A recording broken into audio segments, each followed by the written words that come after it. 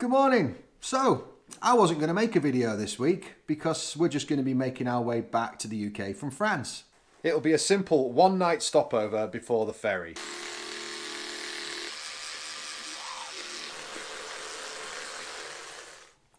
So, in my opinion, there wasn't much to film. It's just the road and a car park we'll be sleeping in.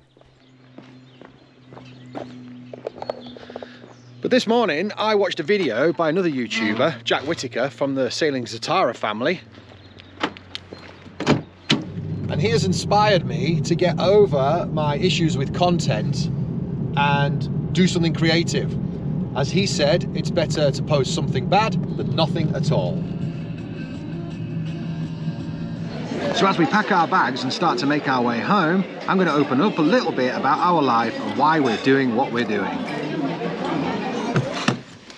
In the beginning, I was actually a pretty damn good skateboarder and a, a singer in a punk ska band. You wouldn't think it to look at me now, would you?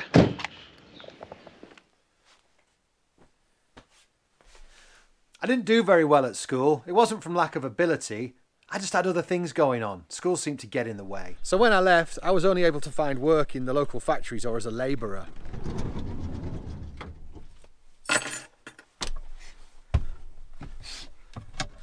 For a while, this didn't bother me because I had a life outside of work, touring with the band and skateboarding every spare hour that I had.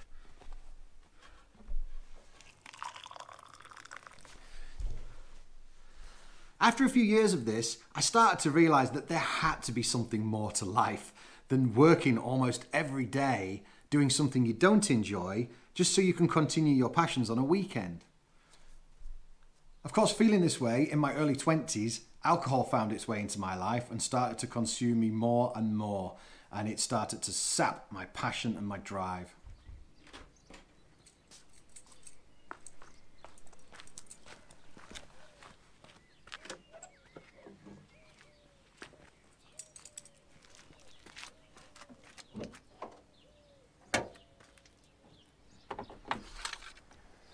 It was around this time that a friend of a friend um, started talking to me about his plans to travel the world. He was showing me maps and talking about trekking in mountains. He really got my attention. And if you're watching, Sam, I owe you a lot.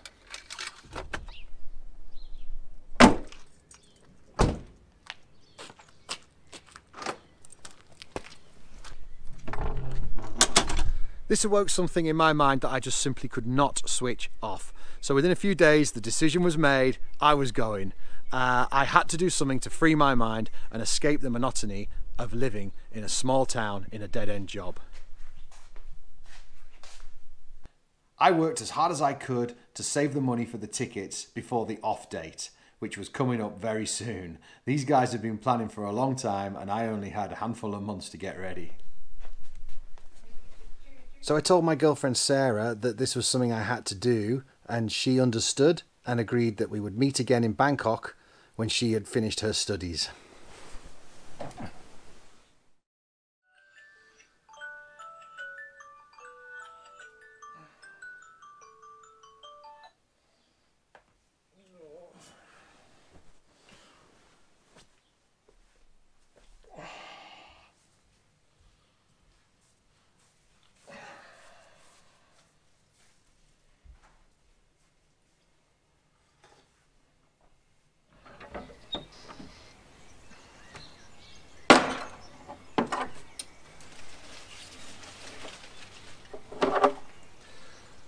Sam, Howard and I arrived in Mumbai, Bangkok for our first stop.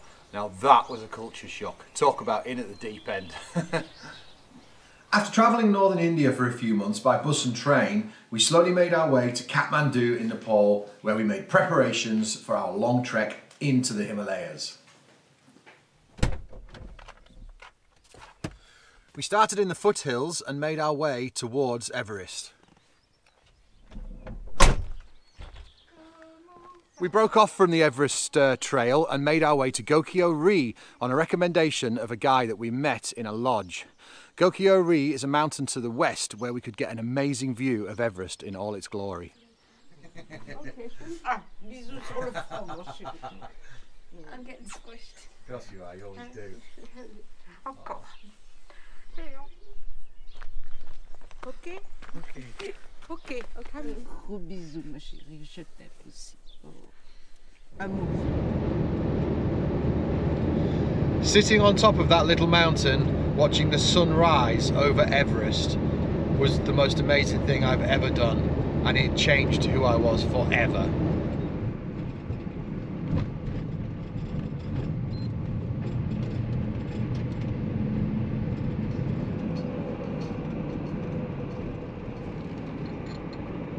We thought about all the people back home who would be getting up in the next hour or so to go to work. Well, we were sat there on the roof of the world watching the sunrise over the highest point on the planet.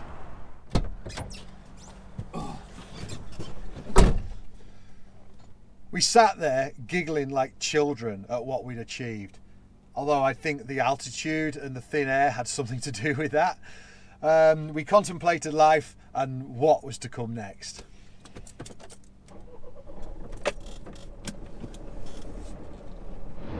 So next was Bangkok, where I met back up with Sarah and we all headed to the islands to learn to scuba dive, because that is what backpackers in Thailand do.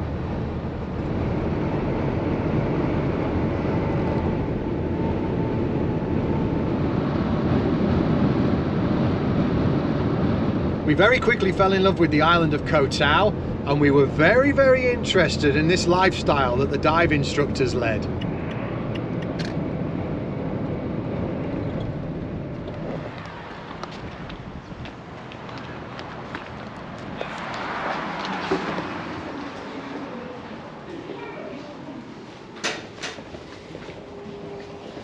Travelling further down the country with friends, Sarah and I very, very quickly made the decision to turn around and head back to Koh Tao. After many months of training to become professional divers, partying, making lots of new lifelong friends, uh, we realised it was time to leave because we had flights to use up oh, and the money was running low. So we took our flight to Australia where we bought a car, met up with some old friends from the UK and travelled all around the inside of the country for the next few months, sleeping under the stars, camping by the side of the road. It was amazing. And I think this is where I get my love and passion for the freedom of living on the open road.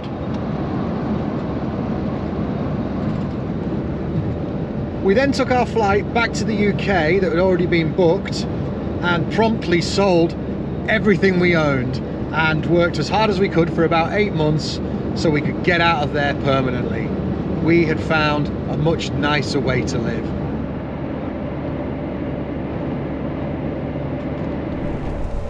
Now, back in Thailand, Sarah and I got jobs as underwater camera people and we were filming the tourists and selling them videos on an evening down at the local beach bar what a life. It was amazing for many, many years uh, until eventually Sarah and I went our separate ways and I formed a new underwater video company with my friend and business partner Elizabeth.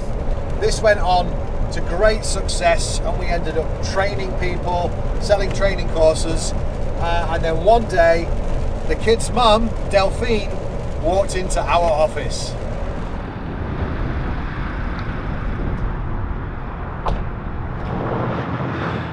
Within a month, we were a couple. Within a year, we were living together. Within two years, we'd bought some land and we were building a house together. Now, it was around this time that she told me she was pregnant. And now that's a shock for any man at any time. We were trying, but imagine my surprise when we found out it was twins. Months later, things took a turn and we had to rush her to Bangkok to get her to the Bangkok hospital. Something was not right.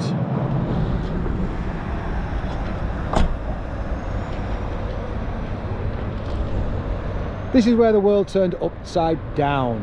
One evening in the hospital, she noticed that the kids were not moving inside her like they normally were. So we called the doctor and he said, okay, these babies need to be removed instantly, otherwise they're going to die. So she was whisked away for emergency C-section.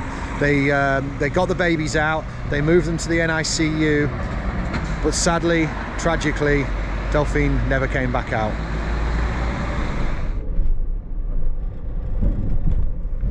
I was alone in Bangkok with two babies in the hospital. My friends and family flocked to me as soon as they could. I could write a book on what happened over the next few weeks, Let's just say it was the hardest thing I have ever had to do in my life. After a few years of living back on the island with the help of a small army of Filipino nannies, the decision was made to move back to the UK. My dad was not doing well with cancer, and I wanted the kids to spend more time with their grandparents and other family. Then tragedy struck our family again. We'd lost my father, we now lost my mother, and my little sister a few years later.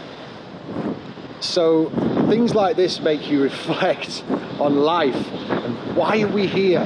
What is the point of all this? Because I guarantee you, it is not to work nine to five, drink on an evening, on a weekend, watch television, paying for a car, paying for a house.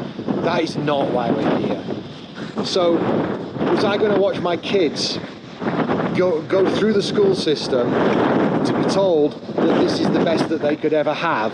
No, no, no, no. I was not going to stand for this. My mind was made up. I stopped drinking alcohol permanently, cut it completely out of my life. I pulled the kids out of school and I decided it was time for a big change. I needed to teach them what I had learned in my years travelling after school. They needed to learn about culture, adventure, and that you can start a business yourself. School will never teach you how to do this.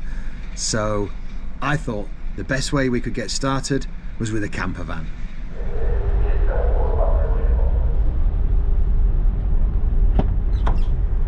So we converted this little work van into the camper van, as you well know, and we've taken it off on so many adventures around the UK, over into France to visit Delphine's mom, and we even took it down to Croatia and Montenegro. And it was on this trip that we realised that this is something we could do permanently, but all we need is a bigger van. But you crazy man with all these wonderful ideas, how are you going to fund this voyage of discovery, I hear you ask? Well, you're looking at it because as of just a couple of days ago, this channel got monetized, which means from here on in, every month, we're going to start earning from a teeny weeny little bit at the beginning from ad revenue, which will slowly over the years grow to maybe a couple of hundred pounds a month. Now, that doesn't sound like much, it's not much, but it's going to help.